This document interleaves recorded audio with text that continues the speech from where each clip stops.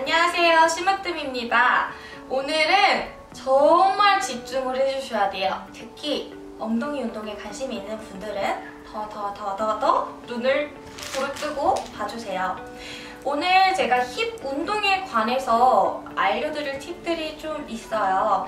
질문을 제가 수백 개 받은 것 같은데 어, 어, 언니 힙 운동 매일 해도 되나요? 힙 운동 얼마나 얼마큼 운동을 해야 되나요? 또 저는 엉덩이가 커지고 싶어요. 저는 엉덩이 업이 되고 싶어요. 엉덩이 옆에 사이즈를 늘리고 싶어요. 운동을 스쿼트라는 거는 저는 19살 때부터 했어요. 스쿼트를 12년 전에 처음 접했고 그 이후로 엉덩이를 집중적으로 좀 다듬고 또 다양한 방법으로 때로는 이렇게 때로는 이렇게 또 식사는 이렇게 체중은 이렇게 해본 결과 깔끔하게 정리를 해드릴 수 있을 것 같아요. 먼저 초급자분들 초급자분들은 일단 엉덩이 자극을 몰라요. 엉덩이가 한 번도 써본 경험이 없어요 하시는 분들이 많아요. 그런 분들은 일단 내 몸에 엉덩이 자극이 어떤 자극인지에 대해서 아는 과정이 필요하거든요. 천천히 욕심내지 마시고 내가 지금 뭐한 25살, 30살, 30살이신 분들은 25년에서 30년 동안 엉덩이 근육을 한 번도 안 썼는데 내 몸이 갑자기 하루아침에 심으뜸 엉덩이처럼 된다 라는 것도 제가 되게 억울하지 않을까요? 그래서 일단 운동 입문자이신 분들은 엉덩이 자극을 느끼고 찾는 과정을 한 달에서 세 달 정도까지 가져보는 것을 추천드립니다. 그 안에서는 제 영상 속에 있는 기초 스트레칭부터 필라테스 되게 중요해요. 기차, 기초 필라테스랑 필라테스 편 영상을 꼭 보시고요. 그 다음으로 중요한 게 장요근 스트레치예요. 힙 운동을 잘 하기 위해서는 힙이랑 마주보고 반대에 있는 앞쪽 힙 플렉서, 고관절, 장요근을 잘 이용을 해주셔야 돼요. 그래서 장요근 스트레칭을 꼭 해주셔야 되고요. 각종 정석 시리즈가 있어요. 스쿼트의 정석, 런지의 정석, 브릿지의 정석을 최소 이해가 가지 않거나 근육의 느낌이 들어가지 않는 분들은 최소 5번에서 10번까지 정독을 해주세요. 그리고 한 번의 영상을 정독할 때마다 느낌과 받아들이는 게 달라야 돼요. 어, 저는 똑같은데요? 처음이랑 하나도 다를 게 없는데요? 하시는 분들은 답이 하나예요. 오프라인에서 전문가를 찾아서 직접 전문가의 지도를 받은 다음에 자극을 찾는 방법밖에 없습니다. 또 가끔 제가 오프라인 클래스를 진행하는데 그럴 때 잘 공지사항과 커뮤니티를 체크를 하셔서 한번 신청을 해보시면 또 좋은 기회가 있으실 거예요. 그 다음에 3개월에서 1년 차이신 분들 자 이제 엉덩이 운동을 조금 할 수는 있는데 엉덩이 운동을 어떻게 해야지 엉덩이가 더 좋아질까요? 어, 3개월 차 운동에 대해서 힙 운동에 대해서 자극을 느끼고 어떤 운동인지에 대해서 알게 되신 분들은 어, 운동의 목적에 맞춰서 내가 식습관과 운동 빈도를 조절해 주셔야 되는데요. 저는 엉덩이만 메인으로 하고 있는 운동을 얼마나 빈도로 해야 될지 모르겠어요. 하시는 이 시기의 분들은 주 2회에서 3회 이내로만 하세요. 이 말인즉슨 이틀에서 3일 주기로 한 번만 하시라는 거예요. 매일 힙 운동을 1시간씩 또는 2시간씩 정말 힘들게 하시는 분들은 결과적으로 엉덩이가 예뻐지지도 않을 거고요. 사이즈가 커지지도 않을 거고요. 오히려 엉덩이 기능이 떨어지거나 체력 또는 몸의 바디 모양이 무너질 거예요. 가장 중요한 게 운동 전 후의 식사예요. 엉덩이를 만들든 복근을 만들든 살을 빼는 다 똑같은데 운동을 통해서 내가 뭔가의 도움을 얻고자 하신다면 운동 전후에 내가 운동의 효율을 높이기 위해서 운동 전에는 공복이 아니라 충분히 운동할 때 에너지를 쓸 수 있는 에너지를 넣어주세요. 어, 뭐 먹어야 돼요? 하시는 분들은 가볍게 고구마도 괜찮고 바나나 하나 정도 괜찮습니다. 운동 끝나고 뭐 먹어야 돼요? 단백질, 탄수화물, 지방 골고루 갖춰진 한 끼의 식사를 드세요.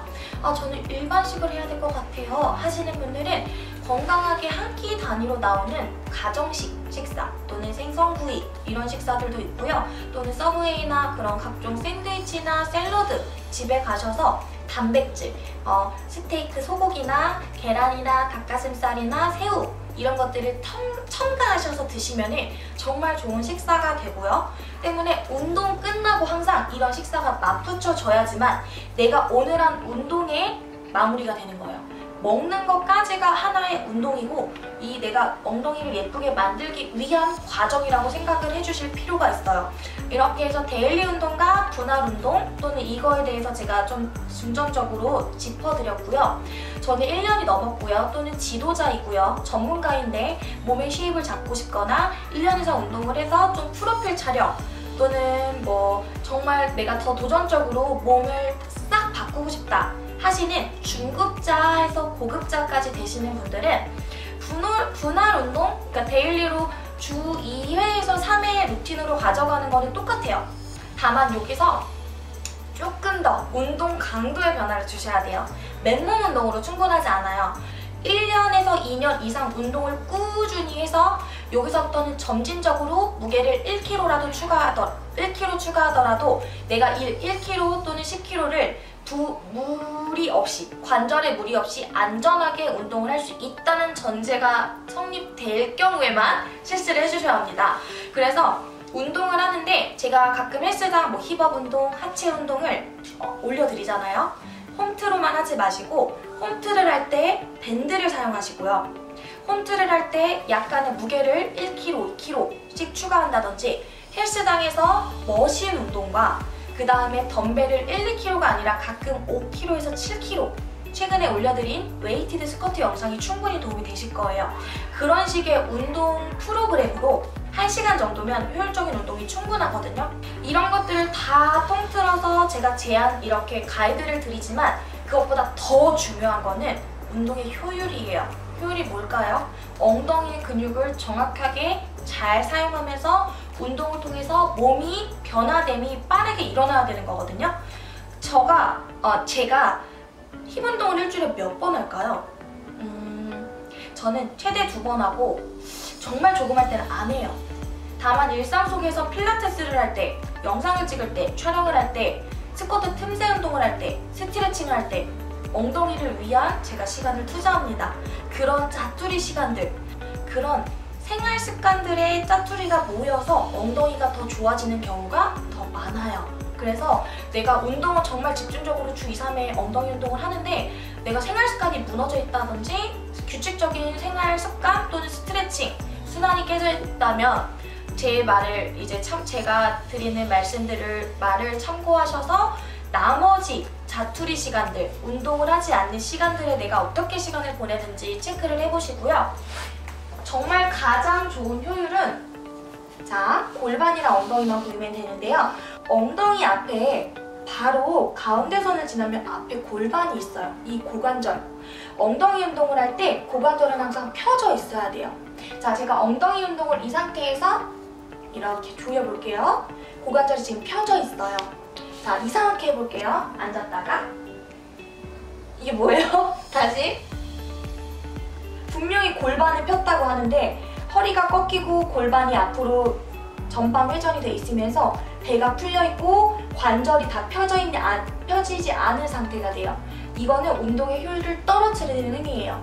어, 저는 골반을 아무리 펴도 펴지지 않아요. 하시는 분들은 엉덩이 운동을 먼저 하시는 게 아니라 고관절을 풀어주는 장교근 스트레칭과 스트레치를 먼저 해주셔야 돼요. 이게 정말 가장 중요한 부분 중에 하나고요. 엉덩이 운동을 할 때마다 정말 이거는 저 제가 아무데나 알려드릴 팁이 아닌데 이렇게 있잖아요. 모든 엉덩이 수축을 할 때 뭐 이렇게 앉았다가 일어났어요. 그냥 단순히 엉덩이를 밑으로 조이는 게 아니에요. 엉덩이를 이렇게 조여야 돼요. 정말 느낌은 엉덩이의 양쪽 뼈가 꼬리뼈 사이로 꽉 조여진다는 느낌이 들어야지만 엉덩이를 진짜 효과적으로 수축을 할 수가 있어요. 이렇게 한 번에 엉덩이 운동을 하더라도 수축과 이완이 있거든요. 또는 버티는 운동이 있지만 이완을 했다가 수축하는 순간에 최대치의 수축을 해야 되는 게 가장 효율을 높이는 방법입니다. 정말 기억, 기억하셔야 돼요.